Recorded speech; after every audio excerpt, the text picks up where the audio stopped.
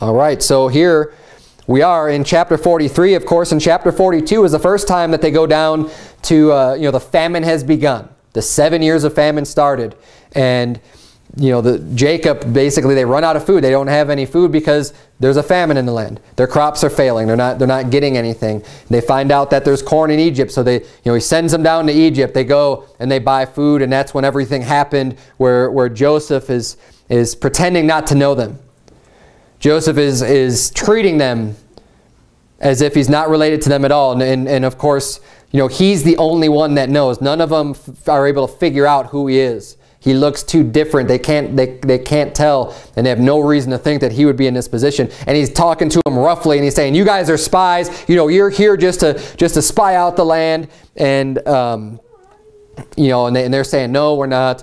And um, trying to maintain their innocence. Like, we just came here to buy some food. So it boils down, of course, last chapter, Simeon is taken, and he's saying, okay, well, I'm going to hold on to one of you until you can prove to me that you, you are true, that you're saying who you say you are by bringing Benjamin with you. He didn't say Benjamin, he said your, your younger brother because they told him about their whole family. And he says, okay, I want you to bring your, your younger brother with you next time you come here.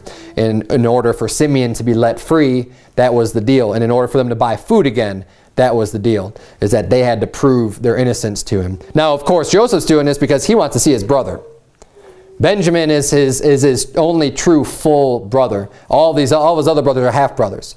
They're the father, they have the same father but different mothers. So um, Joseph wants to see Benjamin, and this is the way that he does it. You know, and he's also kind of laying into him a little bit for all that, that they've done to him and they're, and they're starting to reap a little bit of what they've sown and they're starting to, to be convicted and, and understand you know what they did to Joseph was wrong which they knew it this whole time of course but um, it, it's really hitting home to them now that they're they're thinking they're facing death they're facing the death penalty for being spies in the land and that's what they have to figure out. That's what they have to contemplate and be worried about. So they get sent home. And then, of course, you know, Israel doesn't want to send them back. And he gives up on Simeon as if he's dead. And he doesn't want them going back there because he doesn't want to let Benjamin go back. And now here we are in chapter 43. And the famine, of course, is continuing.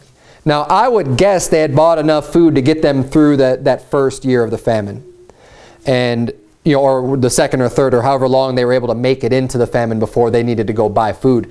So, and it doesn't say this, but I'm just guessing, you know, however much they bought, they probably bought enough to get them through the season knowing that the that the famine was real bad, that they would, you know, and they all went, you know, it was like 10 of them went to, to bring back food on their asses, to bring it all back home for, the, for all their families and stuff. Um, you know, do I know that for a fact? No, I don't, but that would make sense to me. They'd buy enough to, to get them through the season. So here we are, the famine's still sore, of course. It's going to be going on for seven years.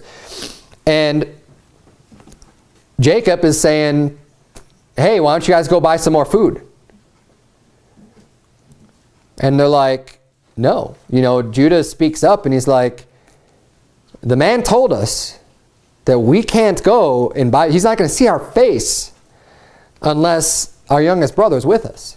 He said, you have to send Benjamin with us because he knows that Jacob doesn't want to send him. He doesn't want to send Benjamin with him. He's worried about him. He's, he loves him more than all the other children, and he's worried that he might be put to death or might, you know, something bad's going to happen to him.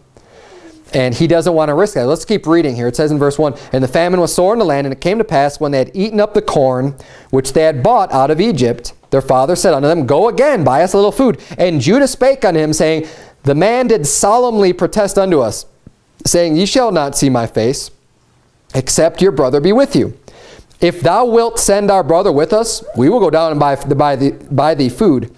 But if thou wilt not send him, we will not go down. For the man said unto us, Ye shall not see my face, except your brother be with you. Saying, you know what, we're more than happy to go buy food, but you have to, Benjamin has to come with us. And if you're not going to send him with us, we're not going to go down there. We're not going to waste our time trying to go plead with, with you know, Joseph, with Pharaoh's, with uh, Pharaoh's man that's in charge of selling us food. We're not going to go and do that because he already said, you're not going to see my face unless you have your younger brother with you, unless you can prove that. And um, here we see in verse 6, And Israel said, Wherefore dealt ye so ill with me as to tell the man whether ye had yet a brother? He's saying, why did you even open up your mouth and tell him you had Now he's just kind of angry at the whole situation, right? I mean, you can't control it. It's already done. But he's bringing up like, well, why did you go and do this anyways? And now, what's the point, honestly? Like, I understand it. I do this. You know, I think everybody's probably guilty of this. But when you take a look at it, it doesn't change anything. And I would recommend, you know, the next time you want to, especially with, with spouses, you know, it, it's easy to get upset about things and be like, oh man, none of this would have ever happened if you didn't, you know, do this or do that. And just, and just kind of be bitter and lay into somebody because you did this wrong. If you never, you know, and, and oftentimes, and I could think, I could speak from experience, you know, there's things that, that, you know, maybe my wife has done that were innocent that there's nothing wrong with doing what you did, but then as a result of that later, something bad happens. It's like, well, why did you even do this to begin with? It's like, well, you know, you didn't have a problem with it then. Now why do you, you know, all of a sudden you have a problem with it? But even still, even if it was something that shouldn't be done, you know, you don't need to keep on, on harping on it, hounding on it after the fact. You know, we need to be able to forgive and forget and let those things go. And it may be kind of frustrating, and, and believe me, I get it. It's frustrating when bad things happen, but it's not a good idea to be just taking it out on people. And whoever, you know, if, if they did do something wrong, they're going to realize it anyways. They don't need you just, just laying into them that much more. And this goes both ways. You know, wives, you know, husbands, husbands, wives, you know, when, when someone makes a mistake, we don't need to keep rehashing that. And, and hey, maybe things do end up getting worse. It doesn't need to be something that you need to continually, you know, beat the dead horse and go into. You're in a situation, it's the way it is, you need to, to just make it through that time. Just like with Israel here, you know, he doesn't need to be, to be worried about, you know, why did you even bring it up? It doesn't matter why. It's the, it's, it's a situation we're in right now. Now, what's interesting to me is that, you know, he's saying, why did you have to do this anyways? And they lied to him. They, they, they, they, they change ex what exactly happened, and we'll see this. Look at, well, look at what their answer was. When he says, um, he asked them, you know, why, why do you even say whether you have a brother? Verse 7 says, And they said, The man asked us straightly of our state and of our kindred, saying, Is your father yet alive? Have ye another brother? And we told him according to the tenor of these words. Could we certainly know that he would say, Bring your brother down? So they're trying to defend themselves, saying, Look, he asked us straightly. He said, He asked us, Do you have a father that's still alive? Do you have another brother? Now let's look back at what actually happened in chapter 42 because that's not exactly the way it went down. Now they make a good point of saying, well, how could we know that he's going to say, okay, well, bring, bring your brother, because they wouldn't have known that. But let's see where, I didn't have this in my notes, but it's, it's right here in chapter 42. He says, uh, look at verse 10, because this is where you know, he says they're spies. Verse 10 says, And they said unto him, Nay, my Lord, but to buy food are thy servants come. We are all one man's sons. We are true men. Thy servants are no spies. And he said unto them, Nay, but to see the nakedness of the land ye are come. So Joseph's just standing there saying, Look, you guys are spies. Nope, you're spies. You're just here to spy out the nakedness of the land. But they're the ones that start offering up this information. And it says in verse 13, And they said, Thy servants are twelve brethren. Now, did he say, do you have another brother? Did he say, you know, do you have a father that's still alive? None of it. He's just accusing them of being spies at this point. They answer, it says, and they said, Thy servants are twelve brethren, the sons of one man in the land of Canaan, and behold, the youngest is this day with our father, and one is not. They gave up the information to him.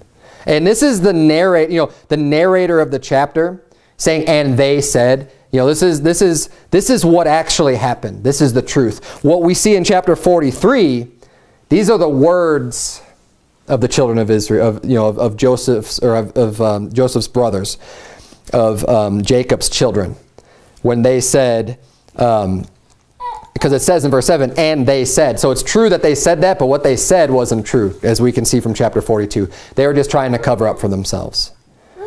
Now, that's not right either, but they were the, as you could see this, they were the ones that offered up all the information unto Joseph. So, you know, they, they, they could have taken a little bit more responsibility for saying that. But regardless, none of it changes where they're at. You know, none of it changes the situation they're in. The situation they're in right now is they need to bring Benjamin. Regardless of how they got there, regardless of who gave up that information and having this whole fight back and forth about it, it's going to be fruitless. But it's not right for them to lie either to their father about, about what happened. So it says in verse, uh, verse 8, And Judah said unto Israel his father, Send the lad with me, and we will arise and go, that we may live and not die, both we and thou, and also our little ones. I will be surety for him.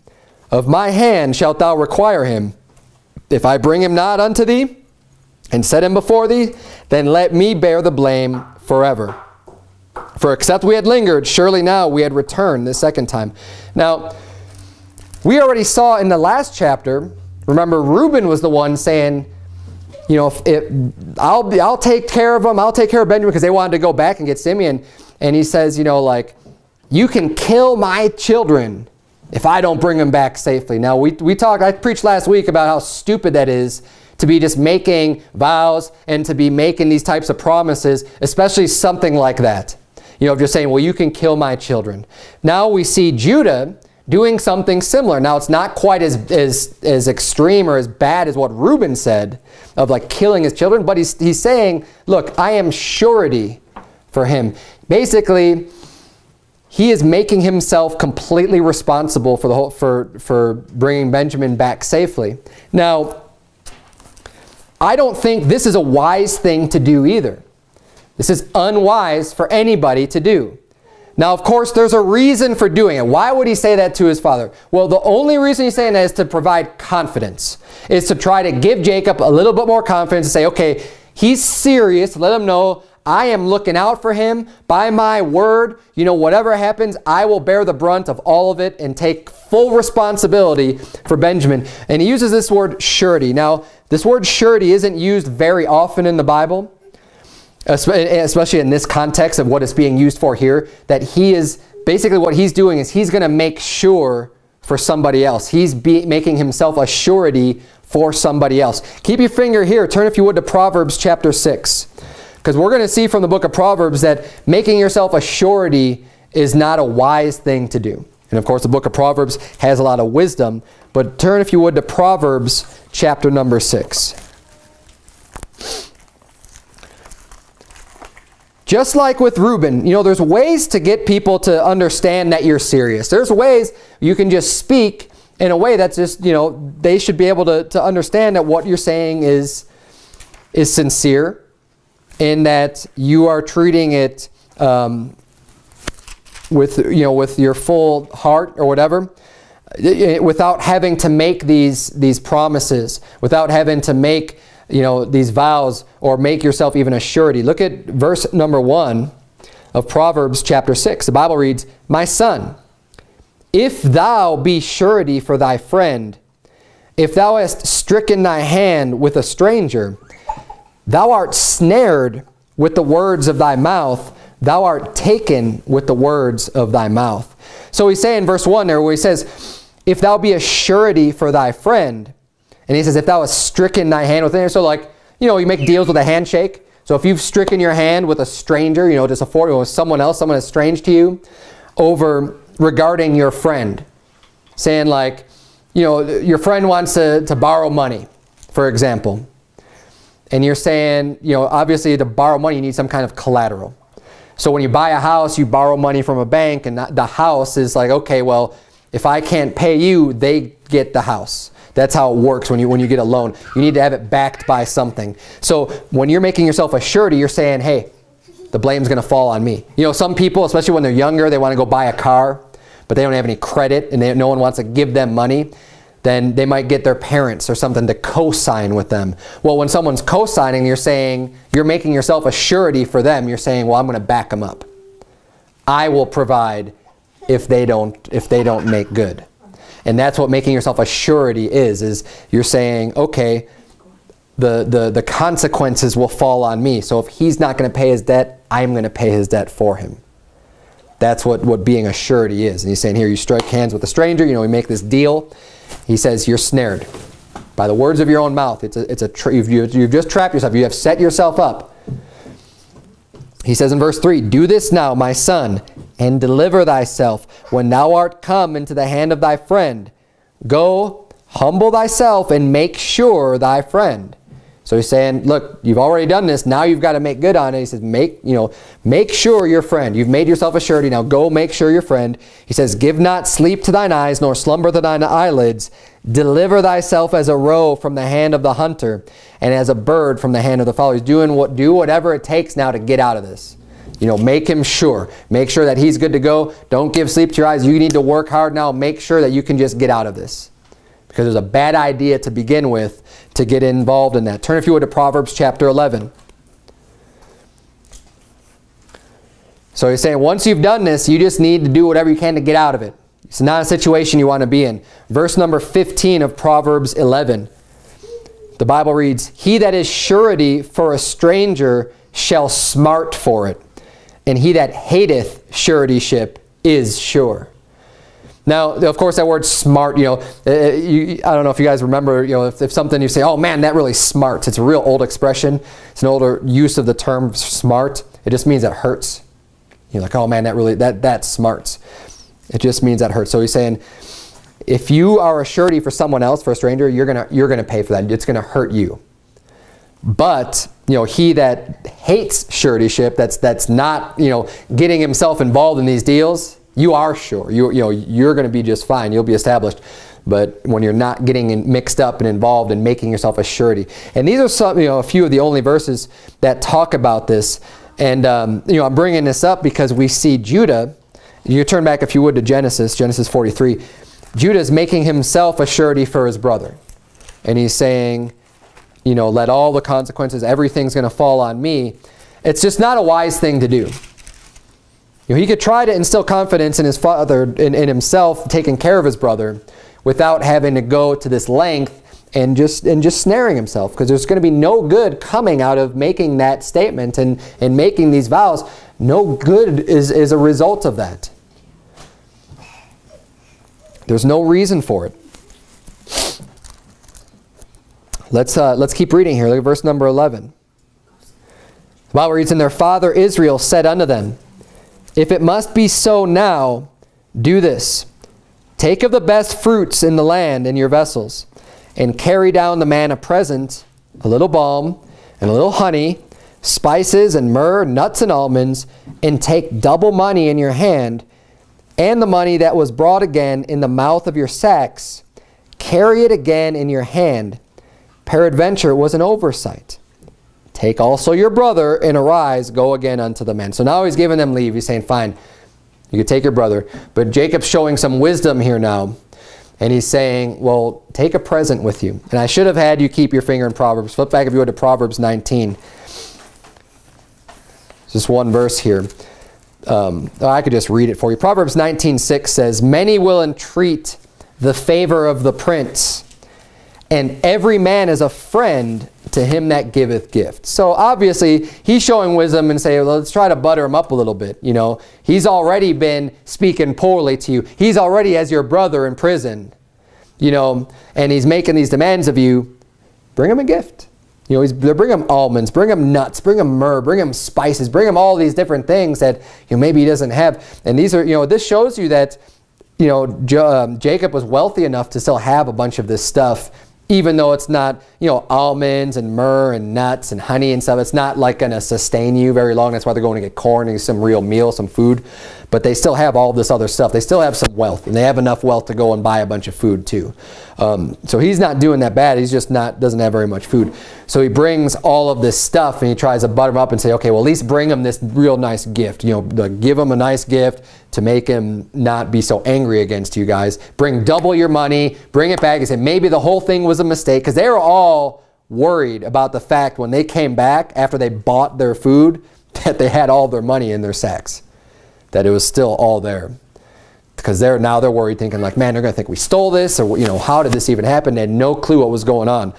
So he's like, well, just bring double money and more money. You know, bring a bunch of money with you. Bring these presents and just and just lay it out and be like, here. And you know what? That's a wise thing to do. If you if you you know whether you sin or not, if you're in trouble with somebody, you know, and you got to deal with them. Maybe you're in trouble with the boss at work for some reason. It's a wise thing to do, especially if you need something from them. I mean, they needed they needed uh, food, right? They needed to buy food. Give a gift. There's nothing wrong with that. There's nothing sinful or bad about this. It's just a wise thing to do. Now, it's not something you have to do, but if you want to get on somebody's good side, you know, everybody's a friend to him that giveth gifts. That's what the Bible says. You know, someone who's real generous doesn't have a hard time finding friends. Everyone wants, I mean, why not? Everyone wants to be around them. We saw even, you know, Jesus, when he fed the 5,000, you know, people wanted to be around him then all the time. And Jesus told me that, look, you don't want to be with me because of my teaching. He said, you just want to be with me because, of because I fed you. You know, obviously, you don't look for friends by just giving them money. Those aren't going to be your true friends. But if you if you need something out of somebody, if you you know if you want to make sure you get something, you're looking for that raise at work. Doesn't doesn't hurt in advance to to you know butter up the boss a little bit and, and give him a gift. It's a, it's a wise thing to do. This is what they're doing here, is showing a little bit of wisdom by, by trying to get Joseph in, in a, as best of a mood as possible to, um, to, to work with them and to help them out. But let's keep reading here. So in verse number 14, he, he's, you know, in verse 13, he says, okay, take your brother too. I'm going to let him go with you and go see the man. Because he knows there's nothing he can do, and they need food. And this is the only place they can get it. Egypt is the only place that has food because all the surrounding lands are all involved in this famine. And Egypt was the only one that prepared because of the vision that Pharaoh had and Joseph was wise to have them set aside food. Nobody else was prepared for this. So the only place they could go to get the food was in Egypt. Jacob knows this. He decides to send his brother and um, or his son. Verse 14 says, And God Almighty give you mercy before the man, that he may send away your other brother and Benjamin. If I be bereaved of my children, I am bereaved. Now, this is much better attitude that he should have had, you know, from the beginning where um, we saw before he was, you know, now he's kind of more trusting in the Lord and he's just, he's just letting, letting it go with God and just saying, you know what, God, you know, hopefully God be with you, you know, and, and will direct you and have mercy. You know, pray that God will have mercy for us and that he'll send away your other brother and Benjamin. Now, when he starts trusting in God, notice how now he's bringing up the fact that he thinks Simeon's alive. That he's going to give your other brother with you. In just the last chapter, he was saying, oh, Simeon is not. He's just saying like he's given up on him for dead. All because he didn't want to send Benjamin. But now that he's finally sending him, now that he's finally just trying to have to, just have to trust in God, now he's got that hope again. So he starts trusting in God again, the hope comes back that, oh, well, you know, hopefully he'll bring Simeon back. And, you know, because he cares about Simeon, but it's obvious that he loved Benjamin much more and was just given up on Simeon in the last chapter. Now he's not given up, but I, I, believe the reason for that is because now he's putting his faith back in God to, to take care of him. Instead of trusting in his own protection. You know, we can try to, to watch over our children, be, be way overprotective of them. But at some point as they grow, you have to let them you know, grow up and do things on their own. You can't always just, just keep them on lockdown or keep them in a bubble and, you know, and, and make sure nothing bad ever happens to them. We have to have faith in God that God will allow things to happen for a reason, but trust that He'll be there to take care of them. I pray every day for my family that God watches over and protects them. I can't be here all the time. I have to go to work. Sometimes I'm hundreds of miles away. I can't always be here, and my protection is nothing compared to God's protection. But we need to be able, in order to do things, in order to, to grow, in order for them to grow, in order for them to be, to be the people that God needs them to be, especially as parents, you need to let them grow up. You need to let them you know, move on to their stages and not be so overprotective of them like, like Jacob was with Benjamin. And really he was just being kind of selfish. Said, well, I love him so much and you know, I don't want anything bad to happen to him. He's kind of babying him. Let, let, the, let Benjamin grow up a little bit. Let him get some experience. You know, there, there's a lot of risk in life. Just going out your front door every day, there's a little bit of risk. Getting in that car, going and working and doing things. Going out and knocking on doors, doing, you know, preaching the gospel, all, everything. There's a little bit of risk involved to life. But it's life, and that's why we need to just make sure we're trusting in the Lord, that our safety is of the Lord. And that we're not just completely relying on and, and being focused on just our, our physical abilities for protection. And just trusting on man you know because people get people get nuts about this. So they'll get all the security cameras and the guns and you know and get kind of freaked out about just being super duper secure It's good to have a weapon. It's good to be able to defend yourself. Okay, it's good to take a little bit of precaution to, to, to ensure a little bit of safety, but ultimately, safety is of the Lord. And ultimately, that's really all you need is God looking out for you. So we need to make sure we don't get caught up in the mindset that Jacob had for a while of just, of just being so worried about his son that he didn't want to let him go anywhere or let him do anything just because something might happen to him. Now, of course, you know, bad events can, can change the way you think about things. He loved Joseph and he let him go and do things, but then something bad happened, right? And now he's not going to, he decided, well, I'm not going to let that happen to Benjamin. But what he failed to realize is that God was with Joseph through all of that stuff. Now, he was given a lie and was told that Joseph was dead, but still, that, that, that faith, we need to keep that faith that God will keep our loved ones safe, that God will be there to protect us, and that we can't always, you know, we're not always going to be around to do everything for your family. So I thought that's kind of interesting here, the way that he now has that hope of getting Simeon back too. Because he loves it. I believe that, that Jacob loves all of his children. He just has a certain order and favorites for sure. But he, he loves them all. He wants them all to, to, to come back to him and, you know. Um, but let's keep reading here. So he has this attitude. He's like, fine, you know, if I be bereaved, then I'm bereaved. If, if the Lord decides to take my children, then I guess I just won't have them. And he, and he finally kind of gives up. And... Uh, Let's keep reading. Verse 15. And the men took that present, and they took double money in their hand, and Benjamin, and rose up and went down to Egypt, and stood before Joseph. And when Joseph saw Benjamin with them, he said to the ruler of his house, Bring these men home, and slay and make ready. For these men shall dine with me at noon. So Joseph sees them coming, and he sees that Benjamin's there. So he's saying, okay, good, they're going to eat with me now. And he, they're doing what he had told them to do and he sets up this big feast. So he's saying like, you know, kill an animal, get it all prepared. At noon, I'm going to be here and we're going to have lunch. And um, that's what he tells his servant. So in verse 17 it says, And the man did as Joseph bade, and the man brought the men into Joseph's house. And the men were afraid because they were brought into Joseph's house. And they said, Because of the money that was returned in our sacks, at the first time are we brought in, that he may seek occasion against us and fall upon us and take us for bondmen and our asses. So now they're worried that they're being brought into Joseph's house because they don't know what's going on. They're, they're doing what they were told to do, but they're still just there to, you know, to buy the bread and stuff. And when they come, they're greeted and say, oh, yeah, yeah, come with me.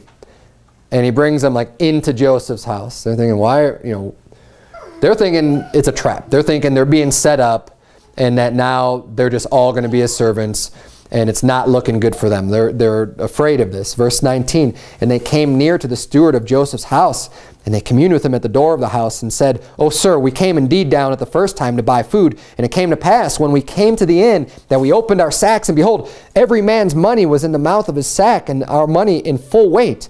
And we have brought it again in our hand. So they, they see this other guy, this other servant, you know, in, in the house, and they, they go up to him real quick because they're, they're all worried what's going to happen to them. They're like, look, this is what happened. Let me explain the whole story to you. You know, we, we, we came, we bought our food, and then when we, when we left, we got to the inn, we realized we all had our money. I said, we don't know how it got there, but that's what happened. So look, we brought, we brought our money again. We brought it here. Look, we're willing to make this good. We're willing to pay you. I don't, we don't know what happened, but here's the money. And it says in verse 23, he answered them and he said, Peace be to you. Fear not. Your God and the God of your father hath given you treasure in your sacks. I had your money. And he brought Simeon out unto them. So now they're got, they've got to have this huge sigh of relief at this point. Because he's saying, no, you're clear. They're like, don't worry about that. I had your money. You know, God must have, must have blessed you and given you that money. But, I, but, but you paid for your food. You know, we don't think that you stole that food. So they, they now they're thinking, okay, well, that's cool. Now, now they don't have that to worry about. And then he brings their brother out. He brings Simeon out unto them. So now they're all rejoined. So now they have a lot more confidence and think, okay, well, this is great now because obviously they released our brother unto us and they don't think that we stole the money, which is their main concern. And um, verse 24 says, And the man brought the men into Joseph's house and gave them water, and they washed their feet, and he gave their asses provender. And they made ready the present against Joseph came at noon, for they heard that they should eat bread there. And when Joseph came home, they brought him the present which was in their hand into the house and bowed themselves to him to the earth. And we see them bowing themselves again as Joseph dreamed. Now, um, let's keep reading here, verse 27. And he asked them of their welfare and said, Is your father well, the old man of whom you spake? Is he yet alive? And they answered, Thy servant our father is in good health. He is yet alive. And they bowed down their heads and made obeisance. And he lifted up his eyes and saw his brother Benjamin, his mother's son, and said, Is this your younger brother of whom ye spake unto me? And he said, God be gracious unto thee, my son. And Joseph made haste, for his bowels did yearn upon his brother. And he sought where to weep. And he entered into his chamber and wept there. And he washed his face and went out and refrained himself and said, Set on the bread. And so now we see he's still playing his part, right? He's still acting. He knows all of his brethren, but they still don't know who he is. So he has to ask, is this your younger brother, the one who told, you told me about? He knows full well who it is. He knows it's his brother. He knows it's Benjamin. He sees him and he's like, you know, this is his brother. Joseph's been through all of this hard time, all of these problems. And this is his blood brother, and this is the brother that didn't betray him.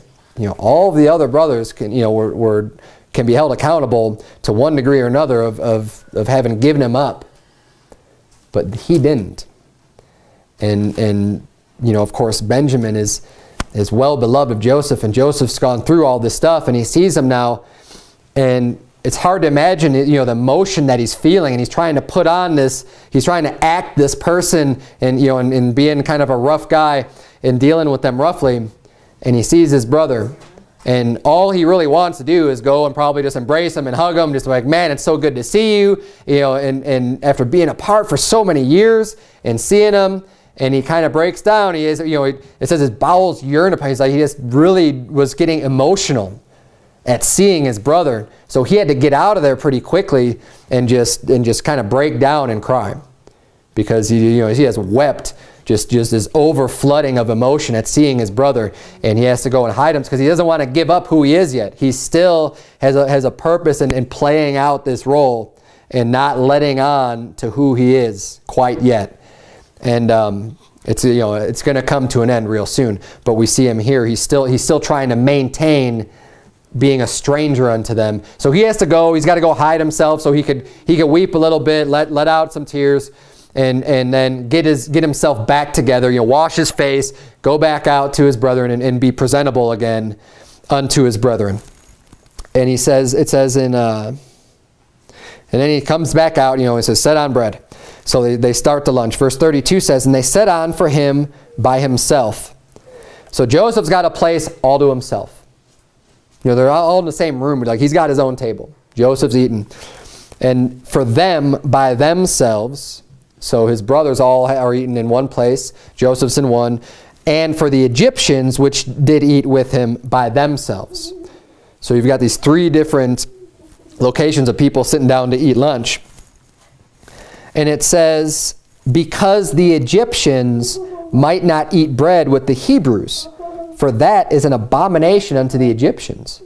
So we see here the reason why they're, they're kept separate is because the Egyptians don't eat with the Hebrews. It's an abomination unto them. And, you know, we see here, I think this is a little interesting too, that, you know, all throughout history, you'll find racism in all peoples. All people upon the earth.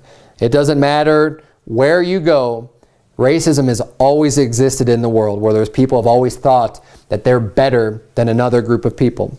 Not every person, but just in general groups of people. You know, you have white people who are racist against black people. You have black people who are racist against white people. You have, you know, brown people who are racist against red people, whatever. You know, there's people all throughout history. And here, I mean, in Egypt, Egyptians are typically really dark skinned. You know, the Egypt's Africa. You have you have this you know dark skinned people who are who are saying thinking that they're better. It's an abomination for us to eat with with these lowly Hebrews. Is the way that they thought, and I'm sure it wasn't just the Hebrews, but probably other people too. I mean, they had this attitude of them being superior, being a superior race or whatever and um, you know being linked in with the gods and all their false Baal worship and God worship that they had, and um, but this is nothing new. There's nothing new under the sun. It's been in all cultures, been throughout history. People have thought that they're better than others. And even the Jews. Turn if you would to Acts chapter 10. We'll see this with the Jews. It's, it's, it's everybody. You know, nowadays, people say, oh, everybody's racist against the Jews. You know, you're anti-Semitic and all this other stuff. Or, um, you know, and, and they play the, the sympathy card and say, well, if you say anything negative against a Jew, then you're just anti-Semitic, you're racist, you hate them. Look, I'm not raising, you know, the Bible doesn't teach racism either. I just think it's interesting here. We see, you know, the, the Egyptians are racist against the Hebrews. The Hebrews are racist against the Gentiles. You have it all throughout history, all throughout cult, different cultures, and all throughout uh, the world. People have been racist against people that don't look like them, that don't act like them, that are different from them, and live, you know, live somewhere else. It's, it's, it, it happens all throughout history. It's not right, but it happens. Look at Acts 10, verse 28. Acts 10, 28 says, And he said unto them, Ye know how that it is an unlawful thing for a man that is a Jew to keep company or come unto one of another nation, but God hath showed me that I should not call any man common or unclean. This is when Peter had that vision of the the basket coming down from heaven with the you know like a like a big balloon like a kind of like a hot air balloon coming down with all these different animals. And he says take Peter you know slay and eat. And there's all these unclean beasts in the in the basket. He's saying not so Lord you know I've never eaten anything common or unclean in the vision, you know, in the vision, God says, you know, that what God has cleansed, that call not thou common or unclean. And, you know, it happens three times. And then he gets called to go unto, you know, this guy's house and he goes unto the Gentiles and he preaches the gospel unto them. He's called, you know, the Holy Spirit lets, you know, go with these people. This is of God. You need to go here. You need to preach to them. So he finally realizes what the, you know, what his vision is about, that it's not about the animals so much as it's about the people. He's saying, look, he says, you know it's an unlawful thing for a man that's a Jew to keep company or come unto one of another nation. He says, it's unlawful for me to be going and these are the Jews' laws. This isn't, this isn't God's law, by the way. The unlawful thing, it's not that it's just against God's law to sit down and eat dinner with someone from another nation. It's not. It never has been. That's never been part of the law. Now, the one thing that was is they weren't supposed to take heathen wives, wives of the of the men of these other nations. That was forbidden, but there's you know that's so they don't turn their heart away from God because they're heathen because they serve false gods. It's always been allowed for people of other nations to come and make themselves a Jew, regardless of where they're from or their color or their race, whatever it is. And, you know, and race is stupid anyways. There's one race called the human race. But whatever, you know, wherever they're from, they were allowed to integrate themselves with the Jews and, be, and, and worship the Lord and change their religion and become part of that part of the Jews. That was always been allowed in the Old Testament.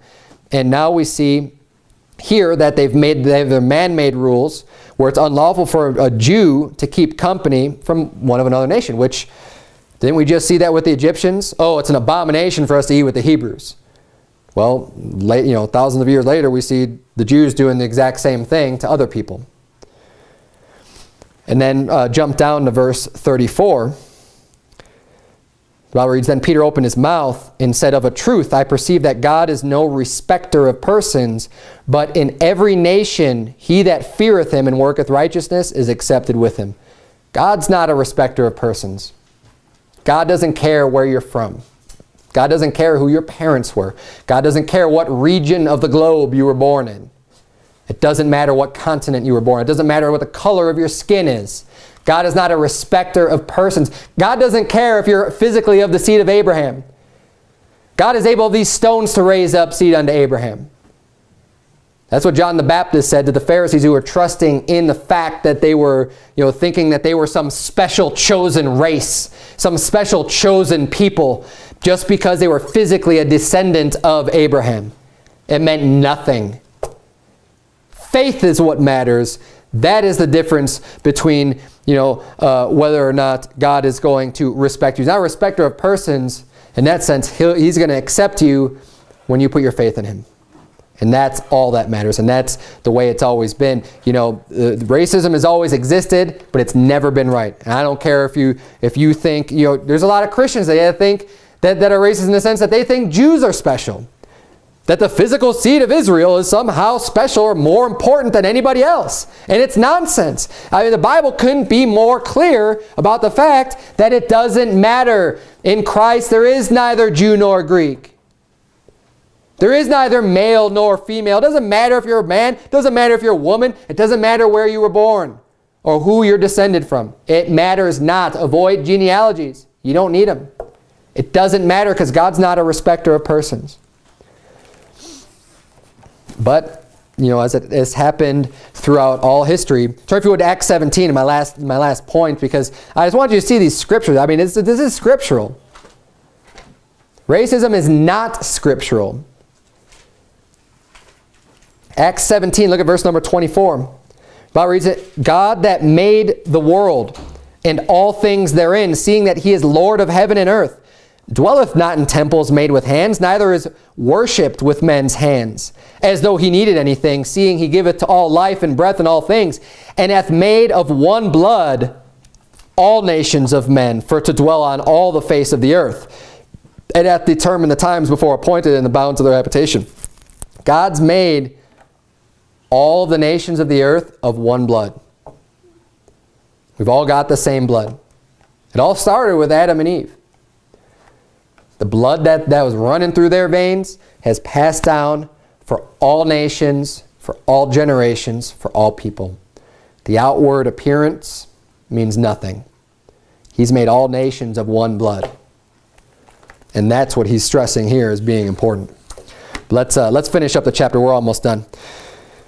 Uh, 43. So we see, you know, they're, they're sitting in their own little tables, their own sections, kind of like in high school. You, you, know, you had the cool kids, you had the nerds, you had the jocks, you know, you had all the, the, the, segregation going on. Well, they had the segregation here. Joseph, of course, was the man, so he's just all by himself. And then, and then the Hebrews, his brethren, were, were sitting over by themselves. And, of course, the Egyptians were sitting by themselves. And, you know, notice the Egyptians didn't sit with Joseph either.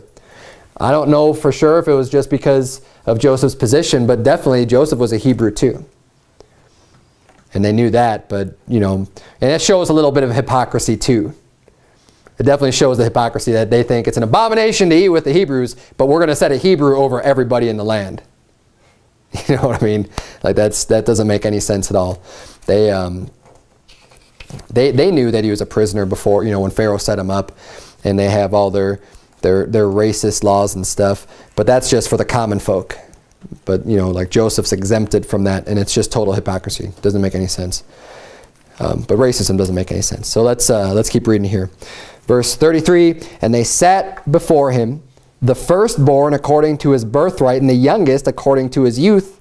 And the men marveled one at another. So he sets them up to eat in their birth order. And they, obviously they, they realize this because they marveled one another. It's like, wow, that's kind of weird. You know, how could he possibly know this? I mean, think about it, they're grown men. How would you know? How do you know, like, if, uh, you know, especially being born from different, different mothers and stuff, probably at different time, or maybe similar times together, and someone's in their 40s, you know, if, if maybe a few of them are in their 40s, how are you going to tell exactly who's the older one? You're not going to be able to, you're not going to be able to know. No, no random person is going to be like, oh yeah, you're the oldest, then you, then you, then you, you know, like in the, in the exact order. But he was able to do that because they're his brothers. He knows, he knows how old they are. And, and he sets them in order. And they marvel at one another. It says in verse 34, And he took and sent messes unto them from before him. But Benjamin's mess was five times so much as any of theirs. And they drank and were merry with him. So he, he's getting, now he's given a lot of special attention to Benjamin. Benjamin's the one he wanted to see. Benjamin the one who, who he was yearning upon, you know, and he had to go and excuse himself so he could just weep because he has so much emotion. Benjamin's the one that he really loves. It's his, it's his full brother. So now he's going to bless him. You know, he gets, and you know, I could just see it. You know, everyone's sitting at the at their table eating their food, and then Benjamin just got all this food all stacked up and all the best stuff, and that's what he did. So he's blessing Benjamin, and uh, we're going to see how the story plays out next week. But let's bow our heads and have a word of prayer. Dear Heavenly Father, Lord, we thank you so much for the Bible. We thank you for these great stories in the Bible, dear Lord. I pray that you please help us to continue to learn from the story of Joseph and his brethren, dear Lord, and that you would teach us more great truths out of the Bible, and you'd help us to um, be diligent in reading and be diligent in studying and learning, dear God, that um, we can make the applications necessary in our life. Lord, help us not to make foolish statements um, like promises or vows or, or things that um, of that nature, dear Lord, and making ourselves surety for somebody else that we can just show wisdom and not get ourselves involved in those in those situations that, that ultimately just won't turn out good for us, dear Lord. That we can we can be wise and not get ourselves entangled in a, in a mess, dear Lord. Um, and it's in Jesus' name we pray. Amen.